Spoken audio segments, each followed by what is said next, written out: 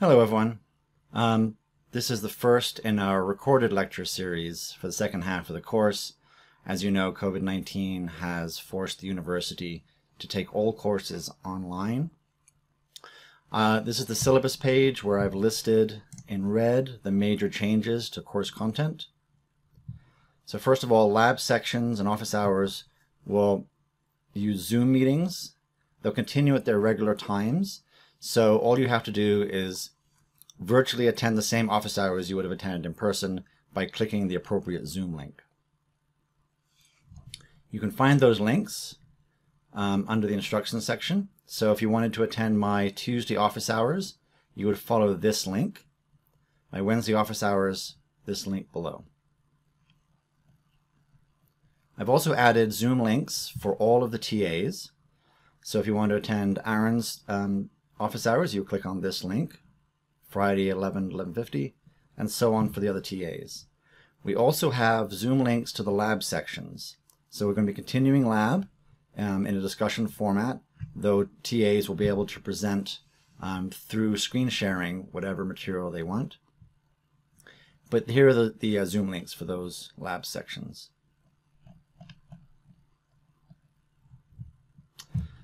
Um, I'll be recording lectures. Um, this is the first of those. I'm going to try and break the lectures up into 10, 15 minute segments, make it easier for you all to digest. And I'll be posting them on the syllabus uh, as I create those. The grade weighting has been changed. So you can see where it used to have a heavy emphasis on exams and quizzes, um, I've reorganized things because all exams and quizzes are canceled for the rest of the semester.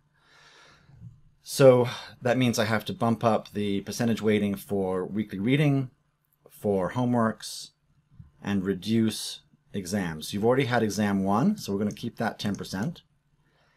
And you've already had four quizzes. So this is a little bit weird. Because you're allowed to drop three quizzes, I don't want to change that, it sort of means you only have one or two quizzes that actually count.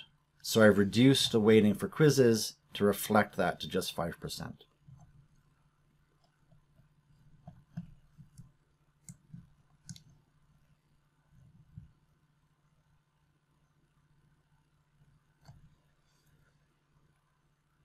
As I said, lectures will be posted online. You can follow this link. So it's in section 5, of the schedule, where I was posting my lecture slides previously. So see if I go down to week 9, once these lectures are finished, I will post a link to them here. As you're all aware, this is a very unusual situation. This has never happened before anywhere, that all universities have had to go online like this. Uh, we are doing our best to give you the best course we possibly can. We are very aware that many of you have fellowships that have requirements that need to be met. Um, you might be coming close to graduation and you need these credits. So we're doing our best to make sure that not only do we give you credit for the course, but that we give you the material that you need to learn.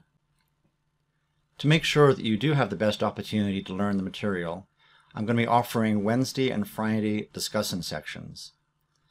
So on Mondays, I'll post material for the week in recorded lectures, and then a Zoom meeting will happen at the regularly scheduled lecture times on Wednesdays and Fridays that you can come to and we can do examples, we can discuss the material, I can clarify any concepts that were unclear, and answer any questions that you have. This week is an experiment. Um, we're going to take this week to figure out does the technology, does Zoom in particular, work well? Do these recorded lectures work well? And I need your feedback to know if that's happening.